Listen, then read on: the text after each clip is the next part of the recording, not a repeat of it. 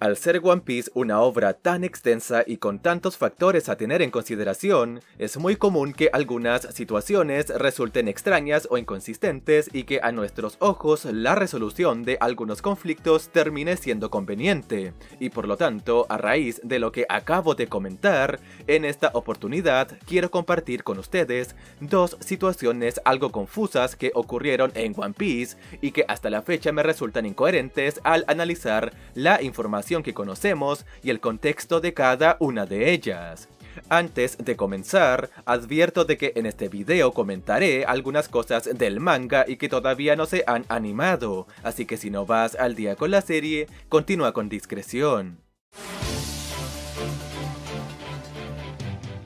El primer caso que quiero comentar y que me resulta algo confuso es el momento en el que Shanks se reúne con el Gorosei durante el Reverie. Porque, a ver, aquí no me quiero enfocar en primera instancia en el tema de si Shanks es hijo de alguien importante o si es un Tenryubito, sino que de hecho, mi duda aquí es cómo una persona que le hizo tanto daño al gobierno mundial puede reunirse con el Gorosei y entrar el a como si nada, ya que primero, y para comenzar con mi explicación, a estas alturas, todos sabemos que la Hito no Mi, mitológica modelónica, es una fruta muy importante para el gobierno y que de alguna manera les ha causado muchísimos problemas durante generaciones. Y entonces, cuando por fin, después de mucho tiempo lograron conseguir esta fruta legendaria, de la nada aparece Shanks y se la roba directamente al CP9 lo cual obviamente terminó desencadenando en el desastre que atraviesa el mundo de One Piece en la actualidad por culpa de Luffy y la peor generación.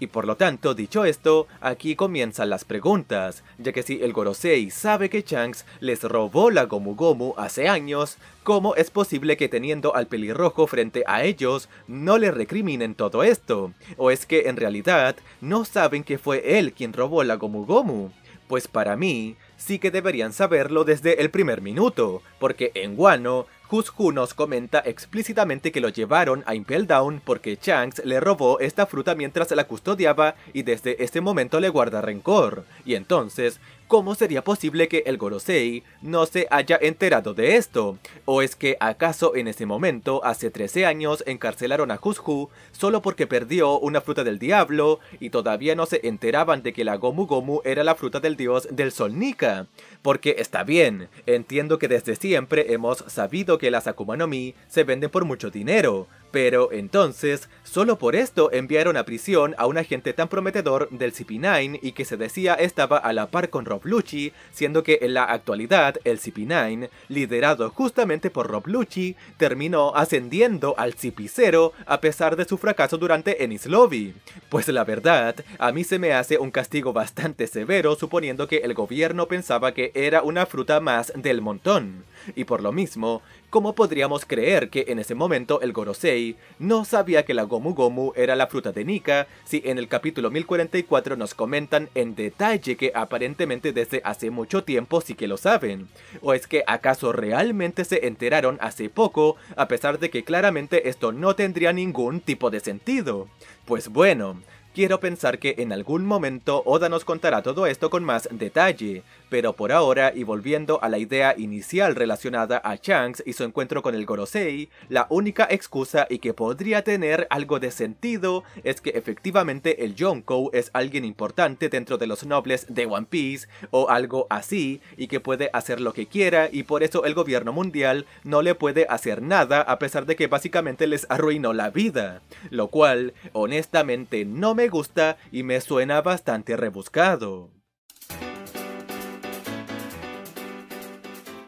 Después, la segunda situación de la que quiero hablar está ligada al despertar de las frutas del diablo y más específicamente a la de Low, ya que hasta la fecha no sabemos específicamente qué tiene que pasar para que una fruta del diablo despierte, y por lo mismo, básicamente podría suceder en cualquier momento y cuando la trama lo necesite, así que por esto, justamente con el despertar de Low, tengo unas cuantas preguntas interesantes y que me gustaría comentar, porque si bien su despertar fue increíblemente conveniente al igual que el de Kid, por lo menos al pelirrojo de la peor generación, no lo vimos casi nada durante el Nuevo Mundo y en cualquier momento su fruta podría haber despertado. Pero al contrario, Torao está en pantalla desde Punk Hazard y nunca se dio algún indicio de que su fruta estuviera despertada. Y entonces, a lo que quiero llegar con todo esto, es que suponiendo que el despertar de Low no fue algo repentino y que sucedió durante su combate contra Big Mom,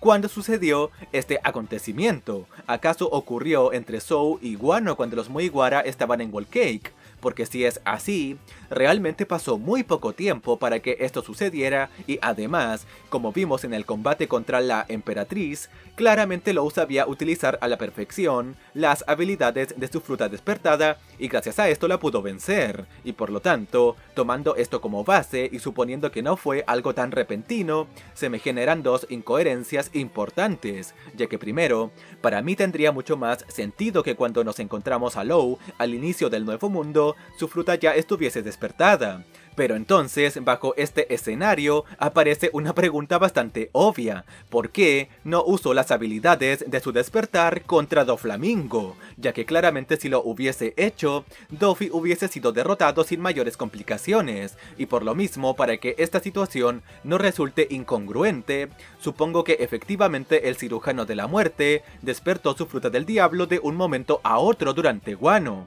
Pero entonces, ¿cómo lo consiguió? Simplemente sucedió de un momento a otro y ya está. Pues hago esta pregunta porque sé que para muchos quizás el despertar ocurre durante una experiencia traumática o crítica. Pero y entonces, ¿qué cosa traumática le pasó a Lou durante Guano como para despertar su fruta? ¿Acaso la despertó cuando estuvo encarcelado durante el acto 2? Porque además, si esta suposición del despertar fuese correcta, a mis ojos claramente esto debió suceder en Dressrosa cuando estuvo a punto de morir en más de una ocasión a manos de Doflamingo. Pero, en fin, a modo de conclusión, todo este tema de cuándo fue que Low despertó su fruta del diablo me resulta incoherente y bastante cuestionable, y más aún cuando en el último SBS Oda nos explicó mucho mejor las nuevas técnicas de Low y su funcionamiento, y entonces gracias a esto, como ya comenté anteriormente, me resulta complicado creer que el capitán de los piratas Hart aprendiera a controlar sus nuevas habilidades en tan poco tiempo justo antes del acto 3,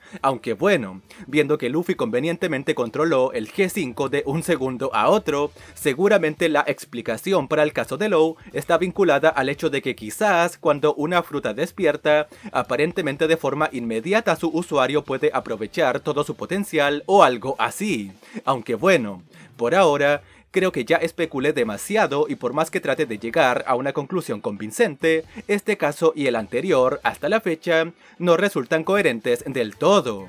Y eso es todo por esta ocasión. Así que ya para ir finalizando y por si no te has enterado, tenemos redes sociales del canal. Así que te invito a seguirme en Twitter, TikTok o en Discord. Y también, y para que no te pierdas ninguno de mis videos, suscríbete y activa la campana de notificaciones, ya que al hacerlo me estás ayudando muchísimo para poder continuar con este pequeño proyecto. Y entonces, sin mucho más que añadir, yo me despido y nos vemos en el próximo video.